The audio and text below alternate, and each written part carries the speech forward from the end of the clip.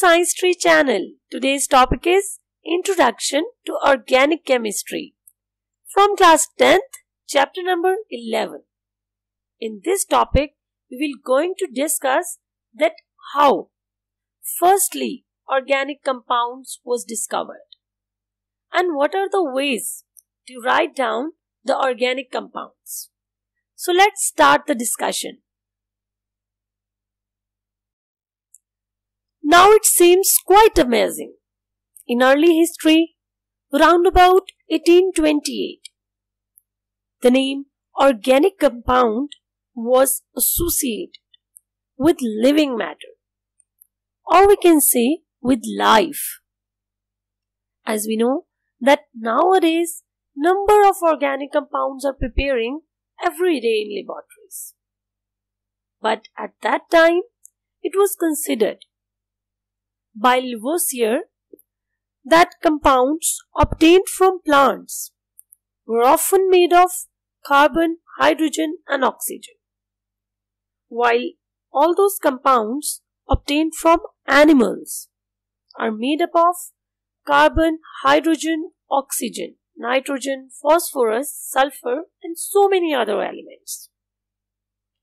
But they don't have any concept about the preparation of organic compound in laboratories.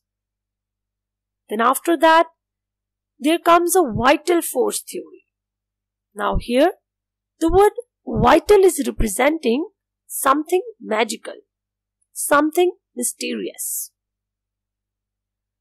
That was given by Berzelius. He was a Swedish scientist and according to him, organic compounds could not be prepared in laboratories. Because they were supposed to be synthesized under the influence of mysterious force. And that is known as vital force theory. Then in 1828, it was Wöhler who firstly prepared urea from ammonium cyanate by heating process. And that was the first organic compound named urea prepared in laboratory. And after that, series go on. Acetic acid prepared in laboratory and so many other elements are used to prepare organic compounds. So that was something about the history of organic compounds. Now we have to discuss that what are the types by which we can write down the organic compounds.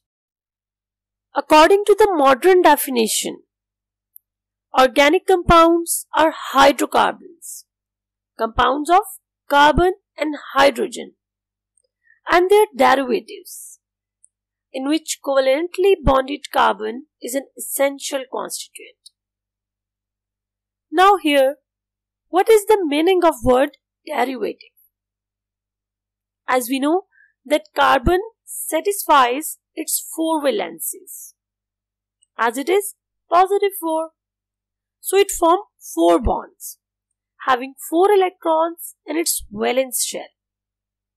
When these four bonds are formed with hydrogen atom, it will be known as hydrocarbon and when one atom is replaced by another atom like with sulfur, phosphorus, nitrogen or any other element which can replace hydrogen.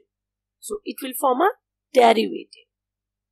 So in this way basically organic compounds are also known as hydrocarbons. Formula of organic compounds can be written in four ways. Molecular formula, structural formula, condensed formula and dot and cross formula. So let's discuss them one by one. So the number one is molecular formula. The formula which represents the actual number of atoms in one molecule of the organic compound is called molecular formula. Here, the word actual is super important. Now, here the first example is methane. The molecular formula of methane is CH4. Now, here we can easily count the number of actual atoms present in a compound. In methane, one carbon and four hydrogen atoms are present, which can be easily shown by molecular formula. Basically, it is representing the number of actual atoms in a compound. Next is ethane. Now, when we talk about 2 carbon, here we are discussing hydrocarbon chain. And if chain is made up of 2 carbon atoms, it's gonna be known as ethane. And ethane consists 2 carbon atoms with 6 hydrogen atoms. After that, propane. Now, the word propane, what it means and how many number of carbon atoms are present in propane, you're gonna understand it by means of molecular formula. Now, in molecular formula of propane, you will come to know that it contains 3 carbon atoms and 8 hydrogen atoms. After that, butane. And butane means 4 carbon atoms. Hydrocarbon consisting of 4 carbon atoms with 10 hydrogen atoms. By knowing the amount of carbon and hydrogen atoms, we can also understand that which type of a bond is present in it. If all the valencies are satisfying by means of hydrogen atom, it means there is no double and triple bond is present and maximum number of hydrogen atoms are attached with carbon. So we are talking about alkanes. If maximum number of hydrogen atoms are attached with the carbon chains, then we are talking about alkanes. So in this way, just by knowing the molecular formula, we can easily understand what type of a bond is present and how many number of atoms are present in a hydrocarbon. Next is structural formula. Now in case of structural formula, it also show bonds, not only atoms. Structure formula of a compound represents the exact arrangement of the different atoms of various elements present in a molecule of a substance. This is structural formula of isobutane. Now, here we can count the number of carbon atoms. Let me count it. 1, 2, 3 and 4. The big balls are showing carbon atoms, while the small white balls are showing hydrogen atoms. Now here, by knowing the structural formula, we can easily understand the bond formation. Here the bonding is also shown. Single bond is present between them. And that's why the word ane is used here, which means butane. Alkanes are bonded with single bonds. And as in this case, the second carbon has a branch. So that's why it is known as isobutane. Now by means of a structural formula, we can easily count the number of atoms as well as the bond present in it. So it's all about structural formula. Now if four carbon atoms are arranged in a simple chain, so we will consider it as butane. It will not gonna be isobutane. Now in case of butane, four carbon atoms are arranged with single bonds, having hydrogens with them. Next is condensed formula. Now in condensed formula, the formula that indicates the group of atoms joined together to each carbon atom in a straight chain or a branched chain is called condensed formula. The word condensed means to make something short Here, the central atom is carbon.